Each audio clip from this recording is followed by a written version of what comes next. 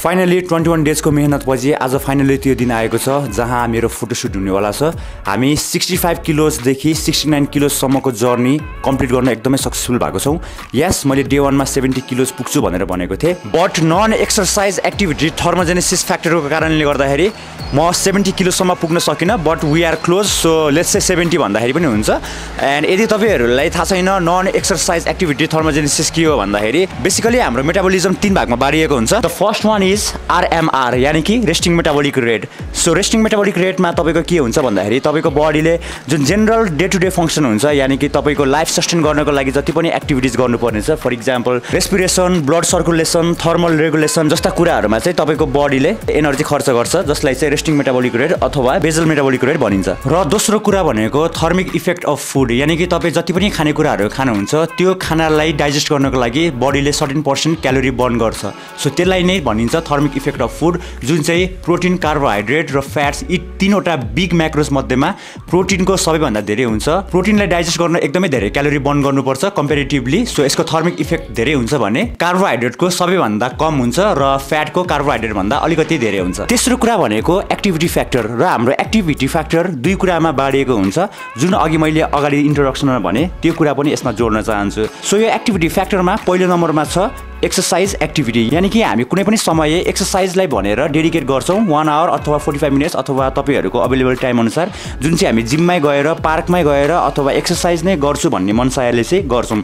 त्यो भयो exercise activity thermogenesis र अर्को पाटो भनेको निट भन्ने हुन्छ यानि कि एनइएटी यानि कि नन एक्सर्साइज एक्टिभिटी थर्मोजेनेसिस यानि कि यस्तो क्रियाकलापहरू जुन तपाईँहरू दिनभरि गर्नुहुन्छ इनभोलिन्टरी रूपमा जुन चाहिँ एक्सर्साइज जस्तै हुन जान्छ। यानि कि तपाईँहरू डिसवास गर्नुहुन्छ घर सफा गर्नुहुन्छ कपडा धुनुहुन्छ हिँडेर ग्रोसरी गर्न जानुहुन्छ त्यस्तो कुरामा नै तपाईँको एनर्जी एक्सपेन्ड भइरहेको हुन्छ जसलाई चाहिँ नन एक्सर्साइज एक्टिभिटी थर्मोजेनेसिस भनिन्छ। अब यो निट र इट बनेर तपाईँको एक्टिभिटी फ्याक्टरलाई चाहिँ कम्प्लिट गर्छ। सो यसरी तपाईँको RMR thermic effect of food र एक्टिभिटी फ्याक्टर मिलेर तपाईँको टोटल डेली एनर्जी एक्सपेन्डिचर बन्न जान्छ जसलाई चाहिँ मेन्टेनेन्स क्यालोरी पनि भनिन्छ। अब तपाईँ यो आफ्नो टिडी डबल ई यानि कि मेन्टेनेन्स क्यालोरी लेभलदेखि दुई सयदेखि पाँच सय सरप्लसमा खानुभयो भने अथवा धेरै सरप्लसमा खानु भने तपाईँको वेट गेन हुन्छ भने त्यो टिडी डबल ईबाट तपाईँले लेस क्यालोरी कन्ज्युम गर्नुभयो भने तपाईँको वेट लस हुन्छ। सो मेरो यो केसमा मेरो सिनेरियोमा म सिन्स पर्सनल ट्रेनर भएको कारणले गर्दाखेरि र मेरो डेस्क जब नभएको कारणले गर्दाखेरि मेरो नन एक्सर्साइज एक्टिभिटी थर्मोजेनिसिस चाहिँ एकदमै धेरै लेभलमा भइरहेको थियो जसले गर्दाखेरि मैले क्यालोरी प्रिजर्भ गर्न पाइरहेको थिइनँ। सो त्यही भएको कारणले गर्दाखेरि मलाई लाग्छ हामी सेभेन्टी किलोज पुग्न सकेका छैनौँ। त्यही पनि यो सबै लाइफस्टाइलको बावजुद पनि हामी सिक्सटी नाइन किलोज पुगेको छौँ। So that's a big achievement now म रेडी हुन्छु मर्निङ ब्रेकफास्ट खान्छु। त्यसपछि चाहिएको जति सबै सामानहरू प्याक गरेर चाहिँ म स्टुडियोतिर जान्छु। सुजन त्यहीँनिर आउँछ। हामी खास गरी झम्सी खेल्न जाँदैछौँ। कुन एरिया हो? तपाईँहरूलाई एकछिनपछि थाहा हुनेछ। तपाईँहरूलाई एकचोटि स्टुडियोमा भेट्नेछु। So yeah keep watching so आजको लागि ट्याङ्क टप यो हुनेछ। अनि यदि मैले लोवर बडी सुट गरेँ भने फ्रेस जकीको अन्डरवेयर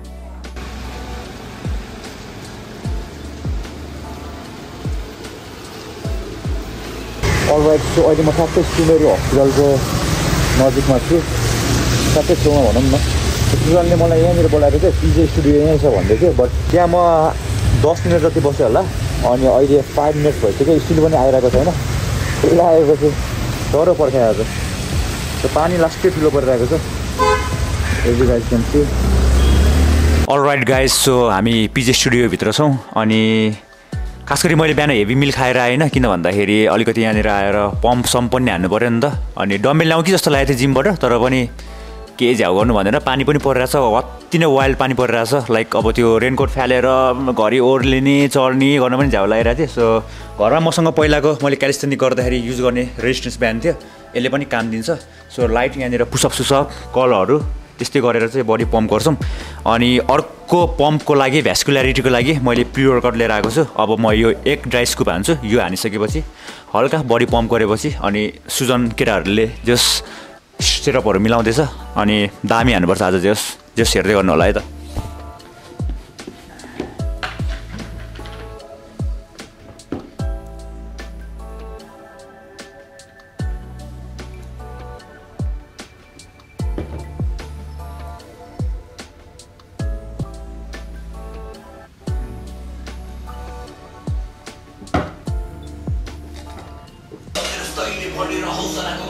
ओके केटाहरू यहाँनिर सेटअप मिलाउँदैछ बवाल हुनेवाला छ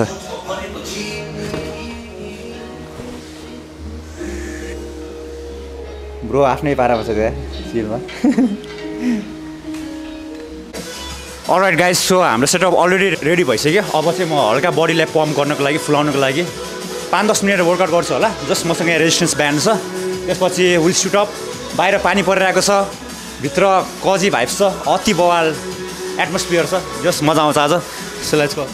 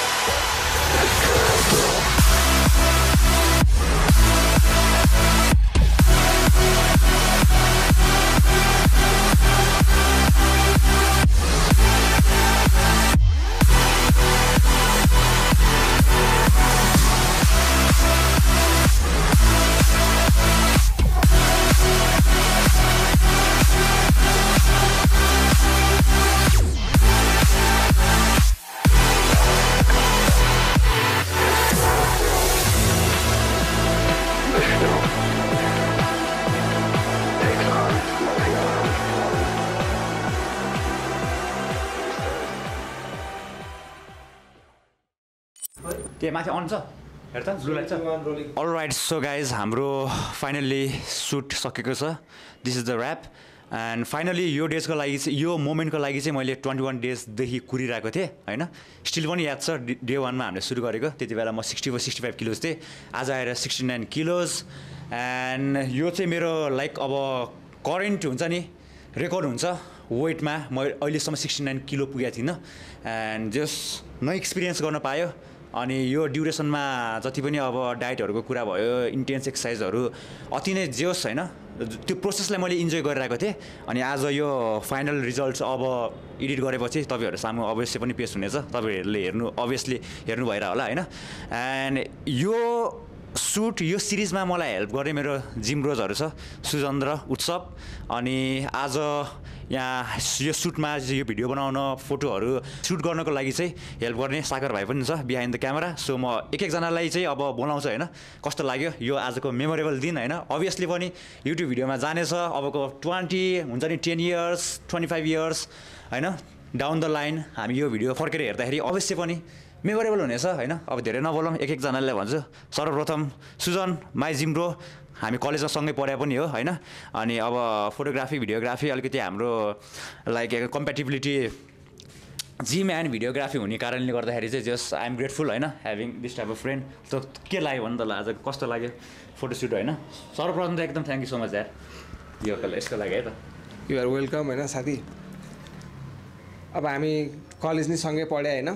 अनि म फिजिक्समा इन्सपायर भएको भनेको चाहिँ यहीबाट हो। हुन त हेर्न त भिडियो कतिको हेरेँ हेरेँ होइन तर एउटा मोटिभेसन हुन्छ नि सधैँ दिइरहने भनेको चाहिँ यही नै थियो। अनि मैले. ब्याचलर पछि चाहिँ अब टाइम साइम मिलाएर हुन्छ नि यो सँगै ट्रेन गर्न भनेर पेप्सीको लागि गएँ। अनि सिन्स म फोटोग्राफी फिल्डबाट लागिरहेको थिएँ अनि मलाई चाहिँ फिजिक्सतिर हुन्छ नि इन्ट्रेस्टिङ सुटहरू गर्न मन लागिरहेको थियो। अनि ऊ हामीले प्लान पनि गऱ्यो सो फाइनल्ली यो सिक्सटी नाइन केजी पनि पुगेको छ। मलाई नै एकदम खुसी लागिरहेछ होइन? अनि हामीले जस सुट पनि गऱ्यौँ। सक्सेसफुल अब भयो सक्सेसफुल भयो। हेरौँ रिजल्ट कस्तो आउँछ। आई होप आई होप होइन बवाल नै आउँछ त्यो हन्ड्रेड पर्सेन्ट हो होइन। एक्ज्याक्टली अनि बवाल आइसक्यो अब हामी खाजा खाँदै फेरि। फोटो छान्नेछौँ होइन भिडियो हेर्नेछौँ। अनि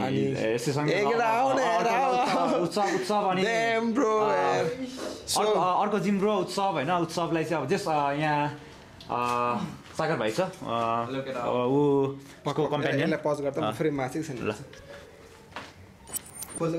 सो अर्को जिम्रो छ मसँग यहाँनिर उत्सव होइन अभियसली पनि जस तपाईँहरूले मेरो भिडियोमा देख्नु भएर होला। ब्रोले पनि जस हामी सिक्स सेभेन मन्थ भयो होला भेटेको हामी अस्ति कोराला बोर्डर पनि पुगेर आयौँ होइन तिनजना गएर।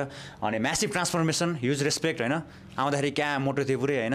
अहिले आएर पुरै त्याग लिन एन्ड लिन भएको छ। अब अब अहिले भनेको अब स्ट्रेटेड हुनु बाँकी छ ब्रो होइन? त्यही पनि ब्रो पनि होइन? जस लागिरहेको छ कन्सिस्टेन्ट भएर। अनि ब्रो तिमीलाई के लागेको थियो अरे आज सुट कतिमा सकिन्छ अरे कति से- एक दुई घन्टामै सिद्धिन्छ जस्तो लागेको थियो तर।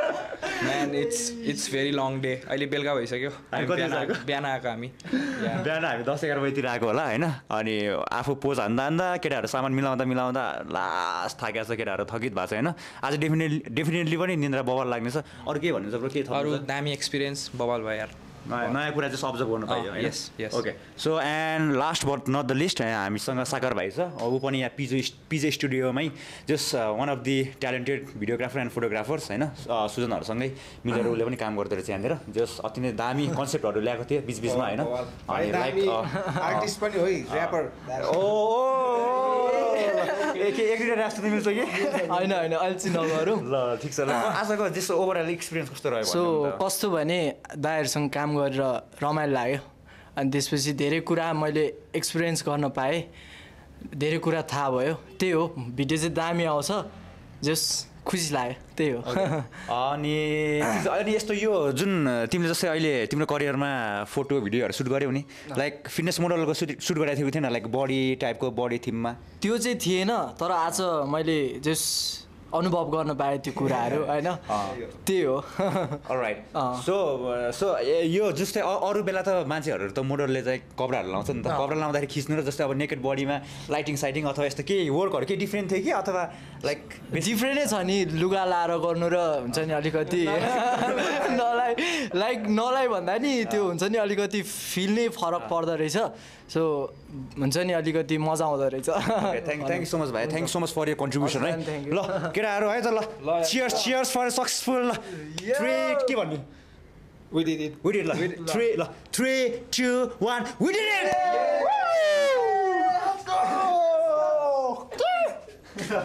दामी pack up pack up pack up lights off